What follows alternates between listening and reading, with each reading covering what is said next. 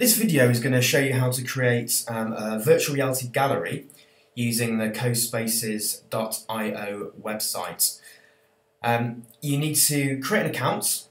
Uh, use I've used my um, my school email address. And once you've created your account, you'll come to um, the dashboard. Any um, projects you've got going at the moment are, are displayed here. And if we want to create a new one, which we're going to do now, we're just going to choose Create Project. And you are now given your virtual space, so your virtual stage. And the first thing I think we should do is create our environment. So using the cog at the bottom, I can choose one of the preset environments that they've got. I think I'm going to choose that one. You can change the mood, the lighting if you like, and you can change the size of the stage down here as well as uh, this here allows you to add an image to the bottom of your stage depending on what shape and size it is and you can add some um, music in here as well. So the first thing I'm going to do is I'm just going to create some uh, some glass walls to mount um, my uh, the images for my gallery on. So I'm going to choose the cube down here. The third one along I can create um, some glass walls. I'm going to click on it once or you can drag it and let's just create some walls up here and I'm going to make them quite high. Let's have a look. There we go.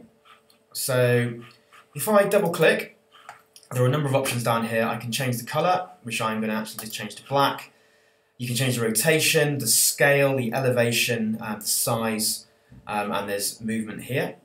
I'm going to then duplicate this rather than just creating another one again and here is my duplicate.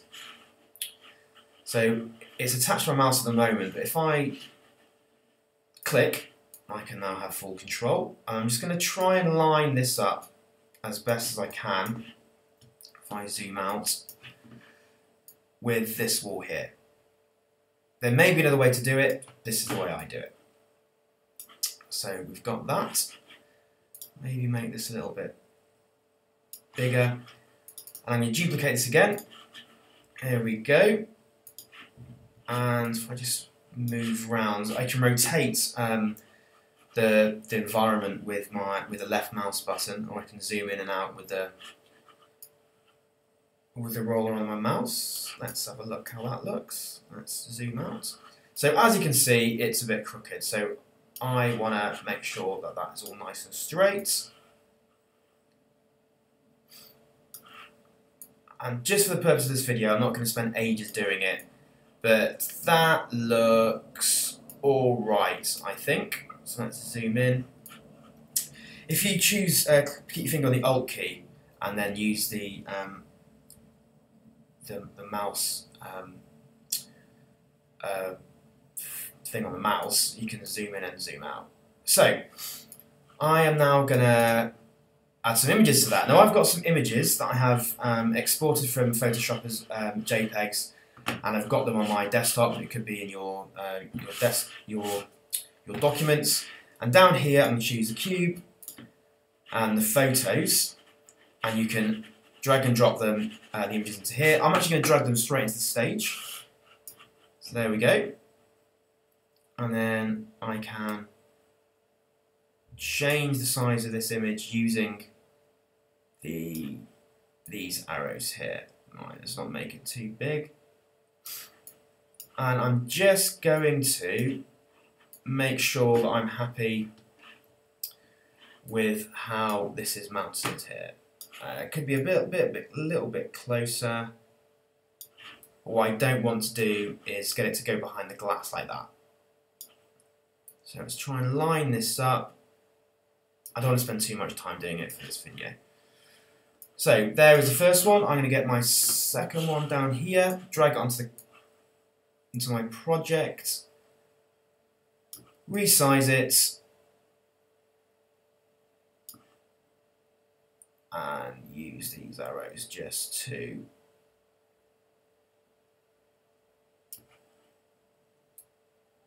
make sure it's not hidden behind the glass. So, so a look, that doesn't look too bad. This probably isn't exactly the right, the same size. So I'm just going to make it slightly bigger. Great, that'll do nicely. So, third image. Oh, I've grabbed the wall there by mistake. Let's move that a little bit further back. There it is. Make it a bit bigger. Again, just following the same technique as we've done before. And you can be a little bit more careful if you want um, to see how close it is to the wall. But I want to do this nice and quickly. So essentially, this is just showing how my Jay-Z album cover has changed over a period of time. Right, now the very final one, which is here. Let's make this a little bit bigger.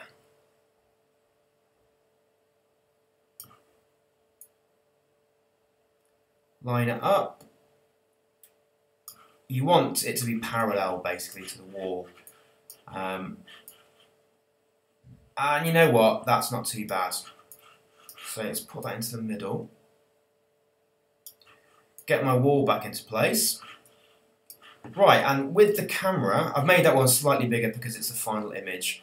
I'm just going to rearrange the camera to a point that I'm happy with. So this is the view that the um, the user will see when they're looking at it in um, the VR mode. Okay, I'm happy with that. Um, as I say, you can spend a little bit more time, but I'm happy.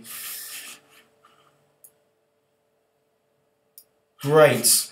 Okay, so I can click the home button here, and this is a project I just created. Click project, give it a name. So the next thing to do is have a look at what that looks like in an iPad and on a smartphone using uh, Google Google Cardboard. CoSpaces have their own iPad app, which you can download for free from the App Store. Open the app, uh, log in with your credentials, and you will um, see the projects you have created within the app. So the one we just created is called Jay-Z. So I'm just going to open it, and with my hand, my finger, I can I can look around the, the virtual space. Now the buttons on the bottom right um, are to do um, with viewing it um, kind of as virtual reality.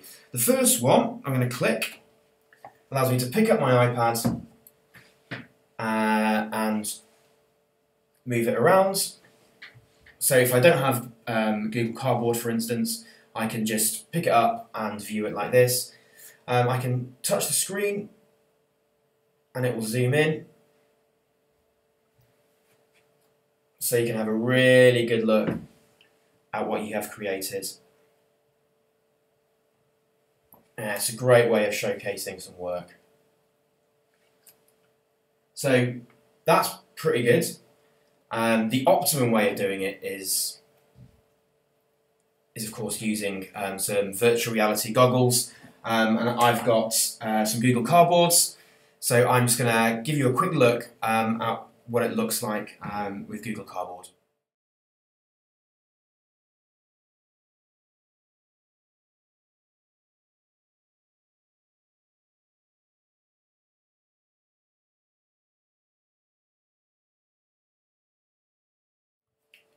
For the best experience, you want to um, view your gallery uh, using a virtual reality headset um, like uh, Google Cardboard. Now, the one I've got cost 15 quid uh, from the Google Play Store. Absolute bargain, and it's uh, it's really really good. So what you do is you place your you get your Google Cardboard, and the icon on the bottom right on your smartphone